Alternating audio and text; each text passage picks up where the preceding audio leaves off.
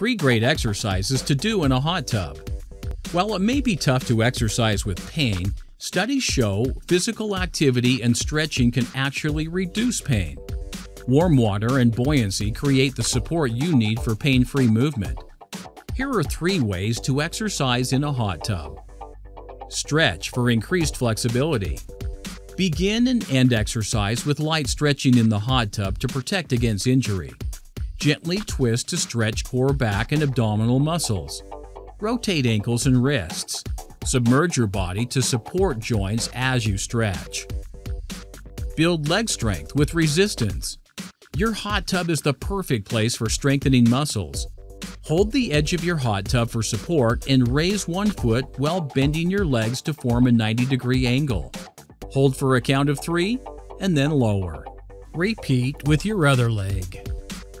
Squats for abdominal strength.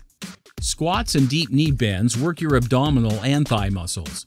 Hot tub buoyancy keeps knees comfortable for a more effective workout. Holding onto your hot tub wall, lower yourself into a sitting position. Hold for 30 seconds. Slowly stand up again. Keep your abdomen tight and hold your other arm straight out in front of you. So go ahead, take a soak, you deserve it. It's fast, fun, and relaxing. Not only that, it's good for the body, soothes the mind, and can improve your overall health and well being.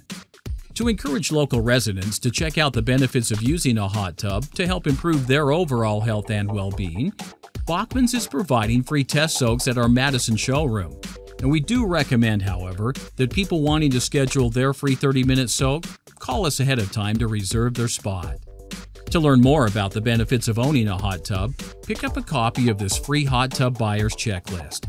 Five easy steps for first time buyers.